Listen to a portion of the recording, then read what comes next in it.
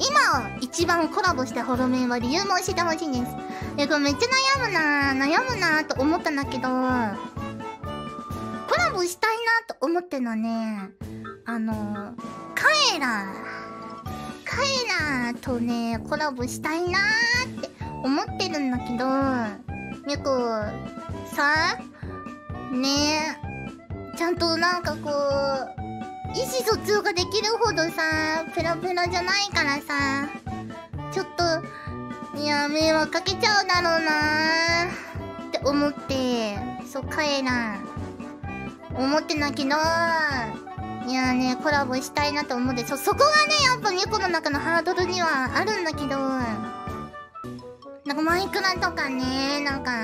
やりたいよね。あとさカイラはさレースゲームとかさやっとるんよ結構。えミコの好きなゲームと結構やっててそれ見てやっぱなんかこういいなみたいなのはねずっと言ってるな言ってるよねずっと思ってて。えパッションでいけるかな？いけるかな？なんか困ったらさディープル先生にさ再生してもらえばいいかな？ねえ。困ったらさディープル先生にさやってさなんかやってみようかな。ちょっとどうも大丈夫だよ。